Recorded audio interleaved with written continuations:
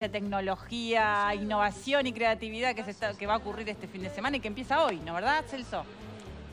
Que empezó. Sí, exactamente, va a arrancar a las 3 de la tarde, pero para nosotros ya empezó, porque ya desde muy temprano estamos recorriendo los stands y les estamos adelantando en forma exclusiva lo que va a pasar aquí en el centro de convenciones de, Punta del Este. Están llegando los chicos, recordemos, son más de 4.000 los jóvenes que van a participar de este Campus Party, se van a, a alojar muchos de ellos aquí eh, en carpas que están instaladas dentro de lo que es el propio predio de eh, este mega show que hay instalado aquí en el centro de convenciones de, de Punta del Este. Pero además hay charlas, charlas que son realmente muy eh, interesantes, charlas que, eh, bueno, con invitados especiales, con speakers, como se les dice ahora, eh, que, bueno, son para motivar a los jóvenes y para hacerles entender un poco de qué se trata todo el tema de la tecnología. Por eso me acompaña Alejandra aquí a mi lado. Alejandra, gracias por estar con nosotros.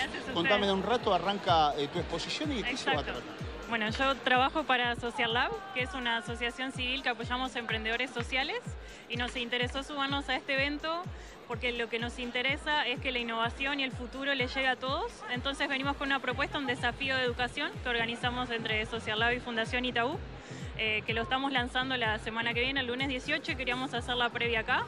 Dale. Sí, Contame de qué se trata eso, breve, bueno, que se pueda resumir. sí, perfecto. ¿Cómo haces para enganchar a los jóvenes? Y la, motivación. Creo que por eso queremos venir a este tipo de eventos. Eh, nosotros siempre partimos como diagnosticando bien el problema, dejamos como todo listo en la, la web del desafío que es desafíoeducación.com y después venimos acá, vamos a hacer una hackathon para contar, darles herramientas para que puedan innovar y pensar que lo para que nosotros es importante que es la educación, que eso es el futuro o lo que construye el futuro y para nosotros lo queremos hacer en este breve periodo de tiempo, tres días y la semana que viene durante 96 horas, porque para nosotros la educación es un tema urgente, no es algo que puede esperar a largo plazo y por eso estamos buscando ideas de emprendedores que ojalá se conviertan en emprendedores sociales y resuelvan estas problemáticas. Bueno, ¿y cómo la ves? ¿Van a encontrar emprendedores? Sí, yo creo que sí, seguro. Muchos, ¿no? Sí, le tengo Hay confianza. chicos realmente muy inteligentes acá, vi con, que están trabajando muy concentrados. Exacto, y sobre todo motivados. Creo que cuando las personas tienen conexión con el problema y después ponen todas las herramientas a, a disposición de, de resolverlo, se pueden lograr grandes cosas. Gracias Alejandra por Gracias tu a tiempo. ti, gracias. Bueno, eh, compañeros, no sé si ustedes tienen alguna pregunta para hacer, pero yo me quiero despedir, si es posible, o mostrarles algo. Acá hay mucha tecnología, mucha robótica, mucho panel digital. Yo tengo 41 años, eh, no me escondo la edad, ¿vieron, no?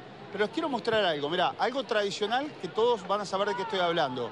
Por ejemplo, a ver, le voy a pedir a los muchachos por acá, permiso, esto es algo más que tradicional, que es el clásico futbolito, ¿verdad?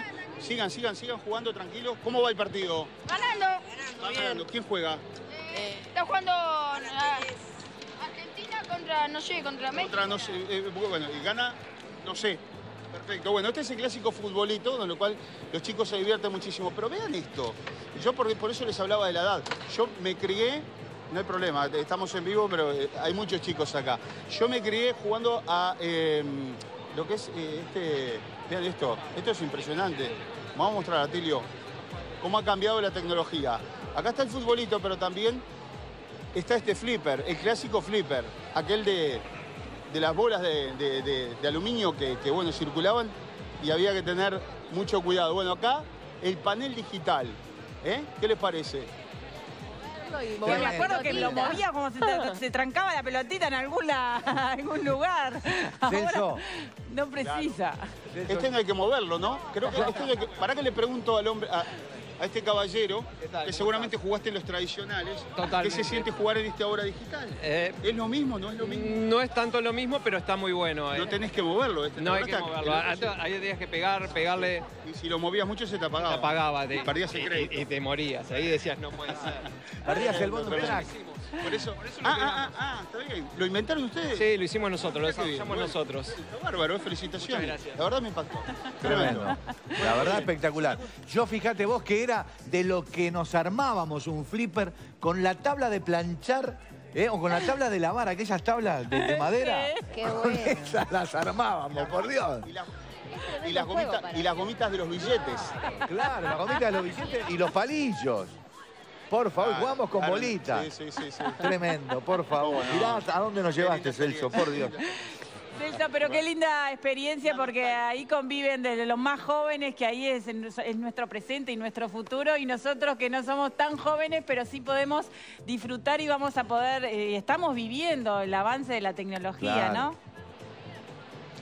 Claro, claro. Y para los que logramos vivir aquella época, ¿verdad? De lo analógico a lo digital, que este, lo estamos entendiendo. O sea, nosotros estamos en esa edad que lo podemos entender.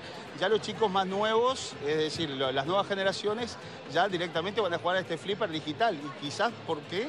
¿No? Se van a olvidar de este futbolito.